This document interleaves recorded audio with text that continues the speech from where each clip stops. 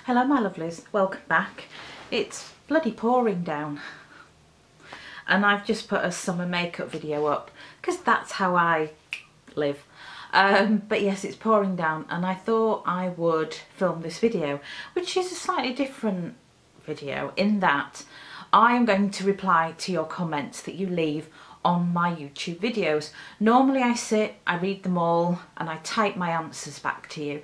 And I thought actually, let's do it this way and have a bit of verbal interaction and you know get your names out there. So the first comment came from my july videos and this was from charmed wench who was currently using the revolution skincare. This was in relation to me using the ordinary niacinamide and zinc and she was saying that she felt that um, it was a dupe for The Ordinary. Um, she may try The Ordinary out after she's finished The Revolution. Although Revolution is cheap, I think Ordinary is cheaper still. And I think it varies. Some of the Ordinary products are a little bit more expensive and you know, obviously that's based on what they contain, the ingredients, where they're sourced. I think they're much of a muchness. Um, on that note, I have struggled the last week with the ordinary niacinamide and zinc. I started, I've been fine with it, really liked it, and then suddenly I've been using it and it's really stinging my skin. So I thought, well, I'll just stop, and I stopped and went back to my lovely Vichy Thermal Hydrating Serum, which is my sort of cushion that I fall back on when things go a bit, ooh. And actually it's been better without it. So I'm weighing up whether to go back to Glossier um, and their pure um, serum because I really liked that. I don't know why all of a sudden this has been a problem, but my skin really wasn't happy with the Ordinary. Um, Stephanie Sold, hello lovely. She says, have you ever tried the products from Paula's Choice? They have lots of options and are also cruelty free. Oh, and I loved that moment in Stranger Things too. So I was talking about the Netflix series Stranger Things with Dusty Bun and his girlfriend singing um, Never Ending Story, which was just so sweet. So yes, I think a lot of people like that. Um, I have tried Paula's Choice. I was very lucky they sent me some PR. I got a very nice serum, which was lovely. Um, I've had a few things. Yes, nice. I like the advice. I feel it's gone, I don't know, like many things, when they start getting bigger, they sort of lose their way a bit.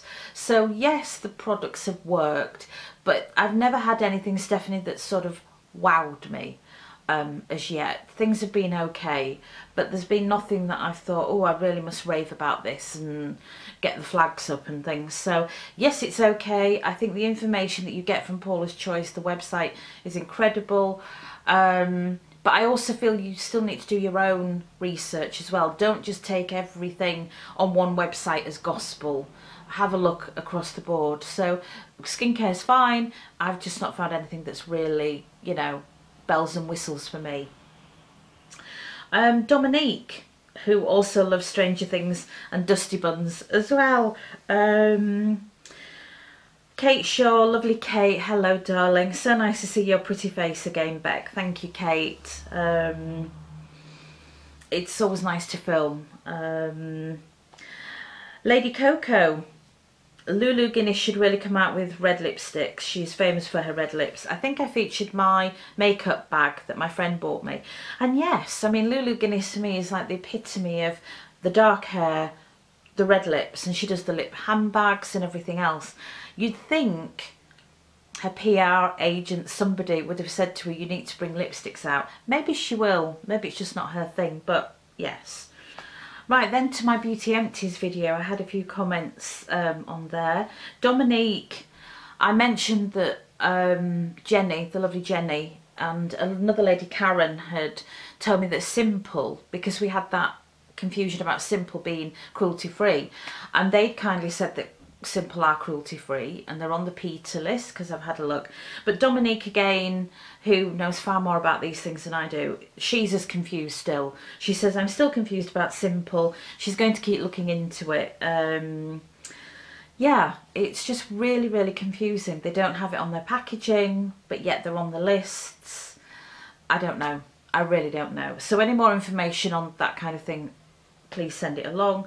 Lovely Gail, makeup looked good. I'll look forward to seeing that video because I'd done the makeup before obviously I'd filmed the empties video.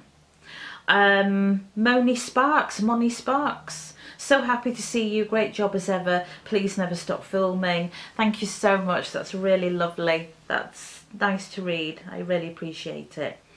Um, a cleansing balm video. Now I filmed this a long time ago, over five years ago, but a comment's come up. Apologies if I don't pronounce your name correctly. Praga, Pragya, um, Shapati, Shapati, I apologise. Can Pimply Face use Emma Hardy Cleansing Balm?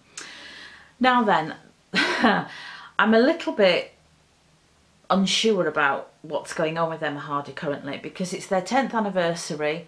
It's one of my favourite cleansing balms ever. You all know.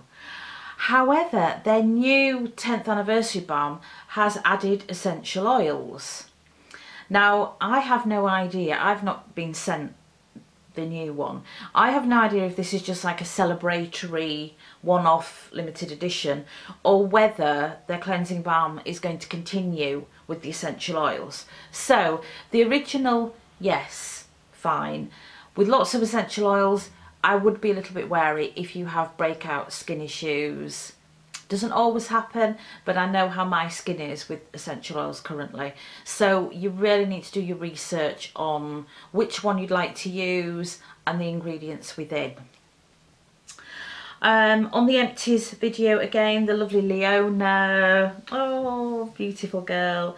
Um, hey Bex, looking beautiful as always. Love the sound of the concealer, which was the Revolution Fast Base Concealer. Can't recommend it enough.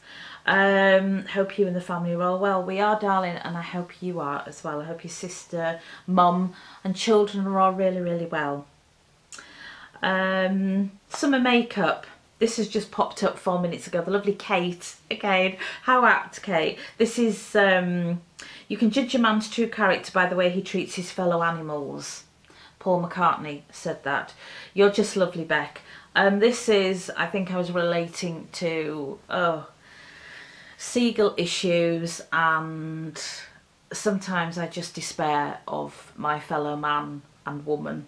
I just, I've just experienced such I don't know. I just, I haven't the words for how sad sometimes I feel when I see what happens to creatures that feel and understand. And oh, it's just heartbreaking. And I know people feel strongly about seagulls, and I know seagulls can be very aggressive and very scary, but I see the other side of them as well. And I just find it really upsetting. Um, so yes, you can judge a person's character. And to be honest, anybody who has ever said to me, oh, I'm, I don't really like animals or, you know, oh, I don't have animals, da, da, da, da, I kind of switch off from them straight away. I just know they're not my cup of tea. No, we're not going to have a relationship or a future. No. So thank you for that, Kate. Yes, that's a perfect quote. Um, most definitely. So that's answering your comments this way. Let me know if you like that. Let me know if you would prefer that I replied to them as I've normally done by typing back to you. That's not a problem either. I just thought it'd be nice to just do something a little bit different. Right, I'm going to go. I'll leave you with this video. Comments below on how you feel. Um, and I'll be back with a more normal video next time. Bye for now.